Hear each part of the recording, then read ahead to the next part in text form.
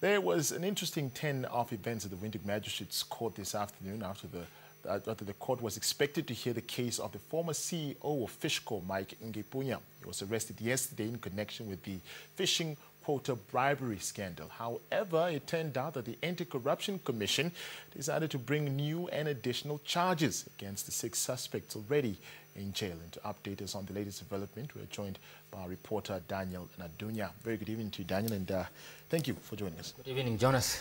Yeah. Daniel, perhaps maybe the first thing is that walk us through what exactly transpired at court today. Like you said, uh, we actually went to court to witness the appearance of uh, Mike Nghipunya, yeah.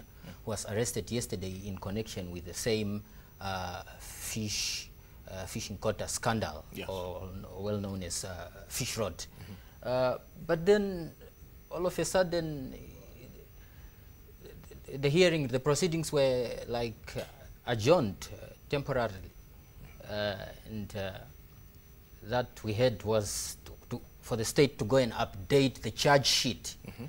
uh, and then it was adjourned for almost uh, an hour or so. And when we returned, we were surprised when we saw the whole team, uh, the whole six from, from former Minister Sacky Shanghala, uh, former uh, Fisheries Minister, Minister uh, Bernhard Esau, James Hatuikulipi, Tamson Hatuikulipi, Pius Mwatelulo, all of a sudden entering the court and, and uh, uniting with, with uh, the newly arrested uh, yeah, Mike Nghipunya. Mike Nghipunya. Yeah. So, so what are the new charges, if you could just shed some light on that?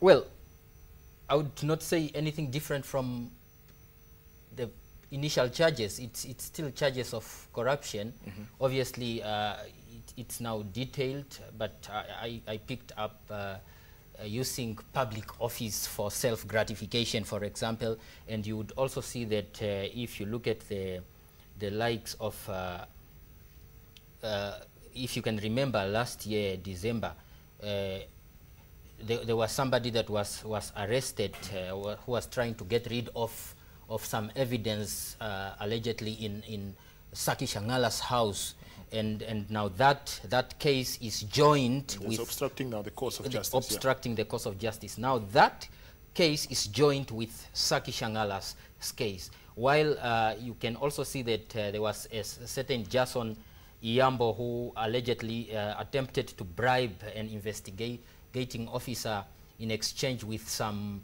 uh, bank cards that belonged to, to James Hatuikulipi or assigned to, to James Hatuikulipi and Pius Mwatelulo. Mm -hmm. That charge was also joined with the two, James Hatuikulipi and Pius Mwatelulo. Okay. Lastly, Daniel, uh, when are they expected to appear uh, before court, and will they will all of them uh, appear at the same time? Now, uh, yes, of course, they will all appear at the same time. But seeing that uh, now they are kind of two charges, you would you would see that there is the initial charge that mm -hmm. was that was brought. Uh, that one they will appear on the 20th, but for the for the new charges, they will then appear on the 23rd of uh, April. All right. Daniel, thank you so much. Welcome. For, for, that update, and I will definitely be keeping an eye on the latest development of uh, a very um, important and, and uh, controversial case in this country. That was Daniel Nadunya, a reporter, giving us an, an update on the latest developments in the, in the fishing quota bribery scandal, or popularly known now as fish rot.